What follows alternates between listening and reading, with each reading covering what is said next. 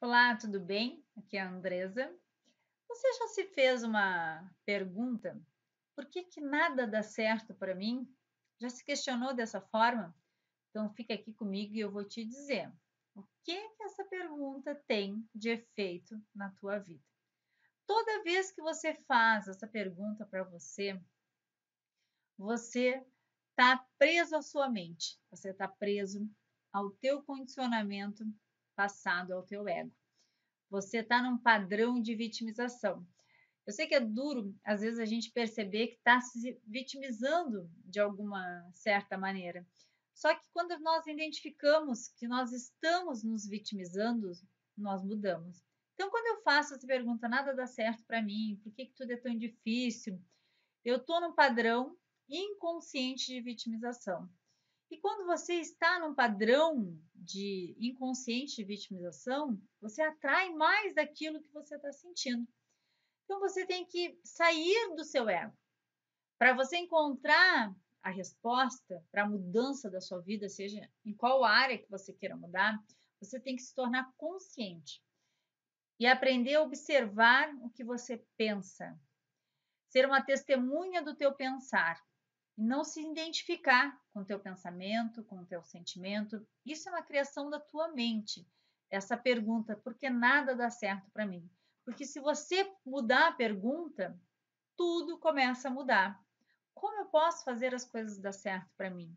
Aí você está num nível de pensar consciente. Mas enquanto você está, porque nada dá certo para mim, porque tudo é difícil para mim, você está preso ao ego. Então, soltar a identificação com os pensamentos é se libertar do ego. O ego, ele detesta o momento presente. E se perguntar, por que nada dá certo para mim? É uma maneira de estar no passado ou no futuro que ainda nem chegou. E é tudo que o ego adora: futuro ou passado.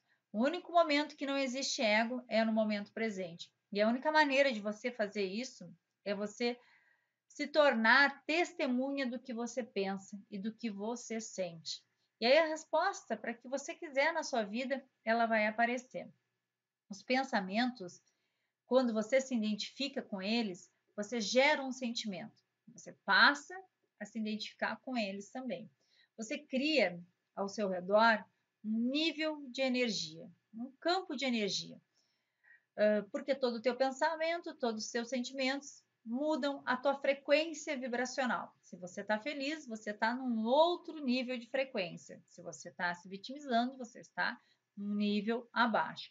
Então, quando você está se perguntando assim, por que nada dá certo para mim, você está atraindo mais situações para sua vida para que você alimente essa frase, porque nada dá certo para mim. É como você se tornasse um imã de coisas que não dão certo justamente para você continuar falando a mesma frase. Então, quando você se, se desidentifica dos pensamentos, quando vem essa frase, né, essa pergunta, e você não se identifica com ela, não agarra ela, não fica pensando, se vitimizando, quando você só observa ela, você está no momento presente. E aí você não muda o teu campo de energia, o teu campo quântico, que é onde você cria todas as potencialidades para sua vida. Só que para isso você tem que soltar.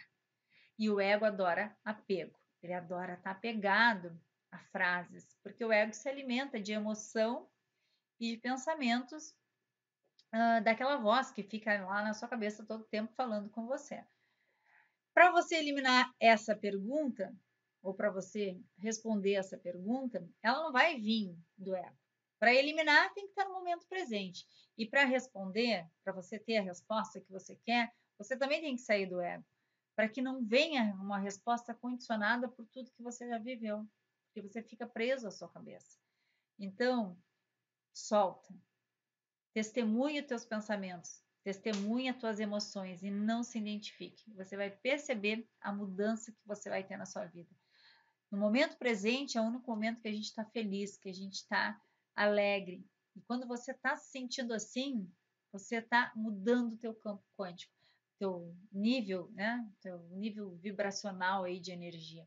E aí você atrai situações para que dê tudo certo na sua vida e não mais a, a situação que você estava vivendo.